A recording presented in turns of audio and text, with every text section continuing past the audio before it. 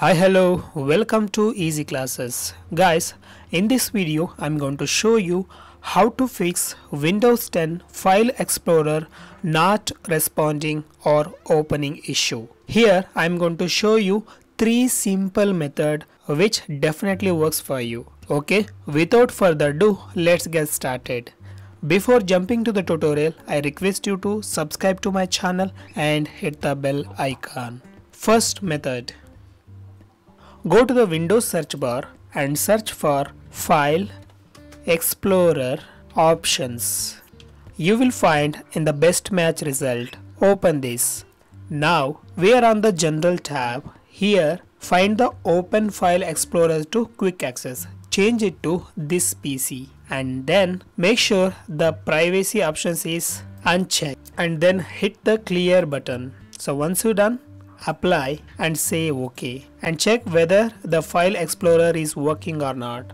If it's not opening again open the file explorer option open that and then hit the restore default and hit apply and save ok and check whether it's working or not. If it's still not working don't worry, we have second method. So open the task manager. To open it, go to the taskbar, right click on that, then select task manager or else go to the Windows search bar and search for task manager and open it. Now go to the details tab. Here find the file explorer. Let me scroll down. Here it is. Right click on that, then hit end task and say yes to end task okay after that again go to the file then hit run new task now you need to type explorer.exe. hit ok and close the window.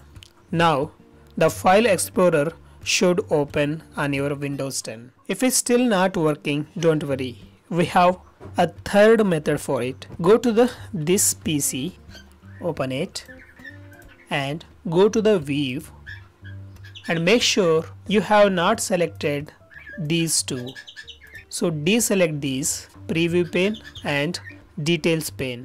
So once you're done restart the system. So that's it guys. This was the quick and simple tutorial for you on how to fix windows 10 file explorer not opening issue. Well we'll catch you in the next video. Till then bye bye